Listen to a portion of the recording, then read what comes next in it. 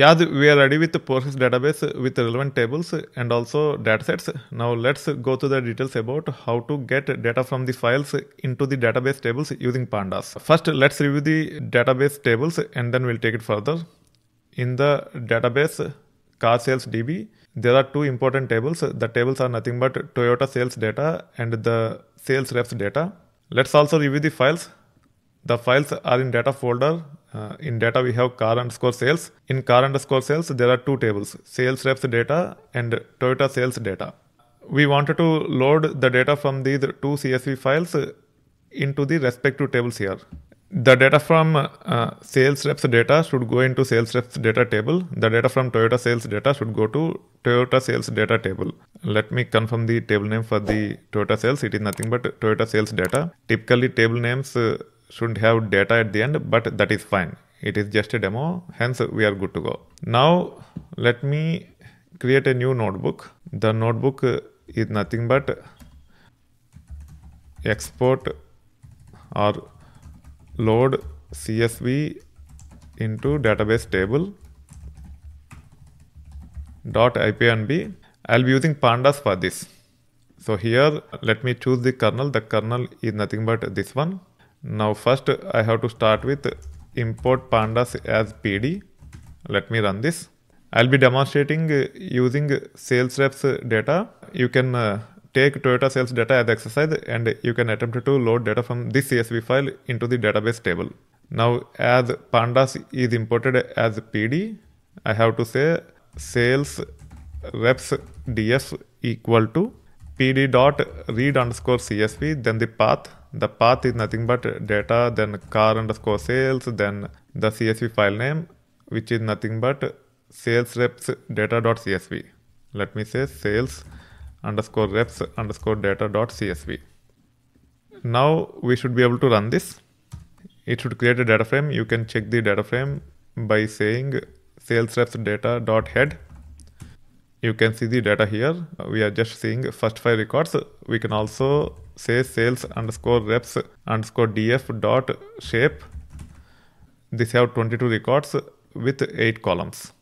Now to write to database you can use something called as to underscore SQL, which is available on top of data frame. Keep in mind, read underscore SQL is available as part of pandas or PD, which is alias for pandas. When it comes to to underscore SQL, which can be used to write to target database table, it is available on top of data frame itself.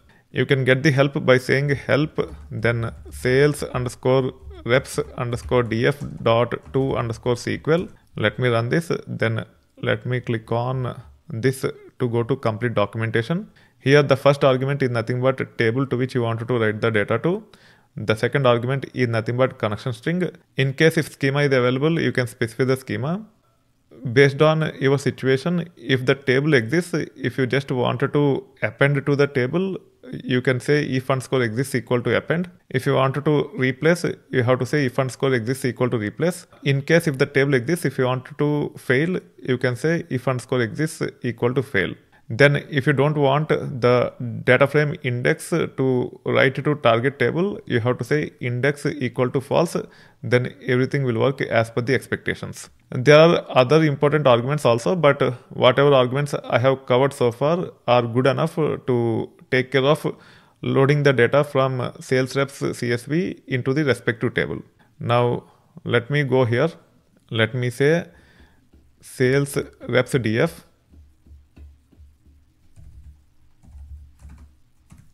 then to underscore SQL. The first argument is nothing but table name. The table name is nothing but sales underscore reps underscore data. Make sure to specify the table name as first argument. Then the second argument is nothing but connection string. Uh, when it comes to connection string, you have to start with PostgreSQL plus PG8000. Then you have to specify colon slash slash. Then the username colon password at the rate the database IP or alias, which is nothing but localhost in our case. Then colon, then database port, then forward slash, then database name, which is nothing but car underscore sales underscore DB. On top of these two, we have to consider other important arguments as well. What are those other important arguments? Now, in this case, let's check the default behavior. The default behavior is fail. So if the table exists, it will fail. If I run it, it will fail. You can attempt running this you see it have failed what is the error it says table sales reps data already exists now yeah that table exists. If you don't want it to fail you have to decide whether you wanted to replace the table or append the table. In this case i'll be using append. So here i can say if underscore exists then equal to then append. So the value for the argument should be string. You can specify the keyword argument like this. You have to have equal between the keyword argument and the corresponding value then let's also see other arguments. The other argument which you should consider is nothing but index. Uh, by default, it is true. It will try to write data frame index as a column. If there is no column for data frame index, it will fail. So in this case, if I look at sales reps df, you can see it have data frame index 0, 1, 2, 3, 4, right? So here Let's try running this and see what happens. See it have failed. However, if you look at the details here, it is not obvious why it is failing. Uh, to actually get the details about why it is failing, uh, it is better to improvise our code adding exceptions. You can see I have come up with a code where I have added exceptions. I'm using try and except here before try and except, first I am importing create engine and SQL Alchemy error from SQL Alchemy and SQL Alchemy.exc respectively. Then I am creating engine object using create engine function from SQL Alchemy with same connection string. Then as part of try, I am establishing connection to the database and then I am attempting to write data from the data frame into the table. Now let me run this. Actually, I have already ran this. You can see when it comes to the actual insert statement, uh, it is something like this. Insert into sales reps data, then index and all, but our table doesn't have index. That's why it is failing. So coming up with code like this will actually give us details why it is failing. Now to make sure it work, let me change the index to false it is true by default. Now i am changing it to false. Now let me run this and see what is going on. Again it failed. The reason why it is failing is because when it comes to hire date it is of type date but we are passing string here. As they are not aligned it is failing. Uh, let me go to postgres database here. Let me close this. Let me right click on sales reps data table and then let me go to properties as part of the properties, you can go to columns.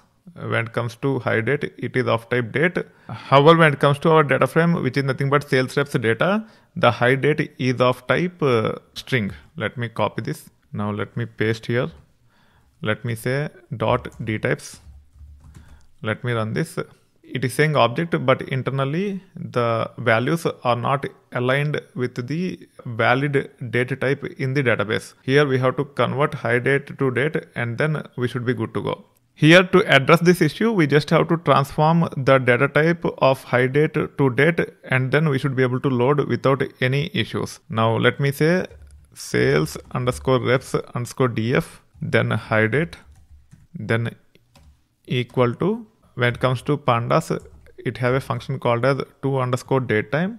Now let me say sales underscore reps underscore df, then hide it.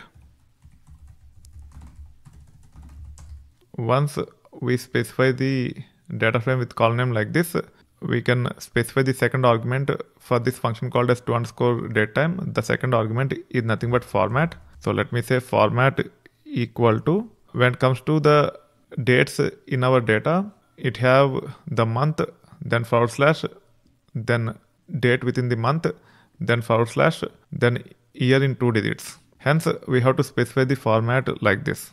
The first one is month hence percentage m. Then the second one is nothing but day within the month which is nothing but percentage d. Then percentage y for two digit year. If it is four digit year i think we have to say percentage capital y then on top of pd dot to datetime, we have to use dot dt, which is nothing but attribute, then date. First, let's copy this. Let's paste here and then run. Let's see what it return. You can see it have returned the valid dates in Postgres. Hence, it should work without any issues. Now we should be able to run this. Now hire date is transformed to date data type.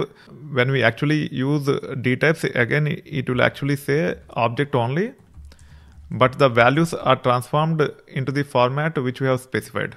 Uh, you can uh, review the data and then you can take it forward. Now let me say head. Now if you look at the dates, the dates are like this. Originally when it comes to the data frame, the dates are like this. So the dates are transformed from this format to the 4 digit year followed by 2 digit month followed by 2 digit date. All these three are separated by hyphen. Now we should be able to run this code without any issues. Here I'm using the code with exception handling. The code without exception handling also will work. However, having exception handling like this will help us uh, to troubleshoot issues much faster way. Now let's run this. You can see it is successful we should be able to go to our Postgres database. Let me make sure I close this. First, let me right click and then let me say count rows. You can see it is saying table rows counted. The count is nothing but 22. Let me close this. Now let me right click and then let me go to view or edit data. Then click on all rows. Uh, you should be able to even preview the data without any challenges all 22 rows are displayed here. You can see the dates are as per the expectations in hire date and remaining columns also have the data as per the expectations. This is how you should be able to use pandas to read the data from CSV file, apply required transformations and write the data into target database table. I have demonstrated using sales reps data. You can also use sales data and write to the respective table as an exercise. Keep in mind the demonstration is based on CSV file as source and Postgres database table as target. You can switch to any other file format as source and you can switch to any other database as target.